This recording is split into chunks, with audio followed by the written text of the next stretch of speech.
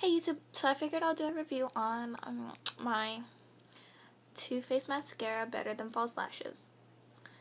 So I guess I'll just start off with the pros. The pros about this is that it gets your lashes up. As you can see, I only did one eye and then one without the eye. As you can see, I don't really have that much lashes right here. So it looks like I have no lashes. But now that I do, it's like up there. It look it looks up there. So it's like so far up there. It's like crazy. Um, but I guess you can say I'll give you length, but it won't give you much thickness. Um, I don't know, but yeah, I like this because like it's easy to do. It is time consuming, and yeah. So the cons about this is that this is pricey. It costs like 30 to $40 at Sephora. This is where I got it from. Do not believe the box. The box is a liar. The box says that you'll get thick lashes like that box. Hell to the no. I believe the box. I fell for it. I was like, oh yay, thick lashes. No false lashes needed. No. Mm-mm. This is what comes out. It don't look like that thick, thick wing, thick thickness know, like as you can see, like it it does get your lashes up there, like it does. But if you get this on your skin, like while you're applying it and you get up here right here, right here, right here, and you already put concealer and powder and whatever, you're done. You're gonna have to take makeup remover and remove it. Because it's not the whole thing, but the dot, like say like you accidentally hit yourself and like your mascara went up here yeah, that's gonna suck for you because you're gonna have to use makeup remover and remove it. You can't just go like this or put eyeshadow. That's what I used to do over it. No, you're gonna have to take makeup remover and remove it. This is hard to get off. Whoop. That's what sucks. This is what's hard to get off.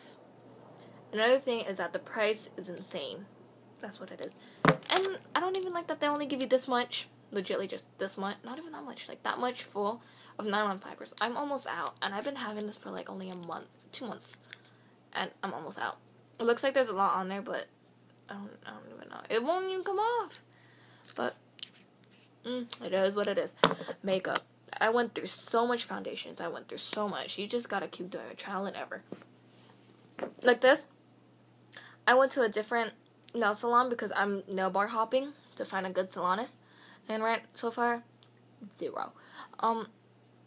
So yeah, I don't know if you guys like want I like thick and length, but this doesn't give me the thickness, so I just kind of keep repeating it. But don't cake it on. Like when you apply nylon fibers, do one layer and then do the mascara, let it dry for like a couple seconds, do it and then let it dry, apply mascara and then do another layer and then like cover that up. That's what I usually do for the thickness. Um